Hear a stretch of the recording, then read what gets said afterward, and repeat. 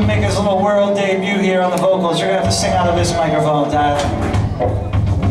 Tyler is all energy, he's all excitement, and he does a great job on this song. This is My Generation.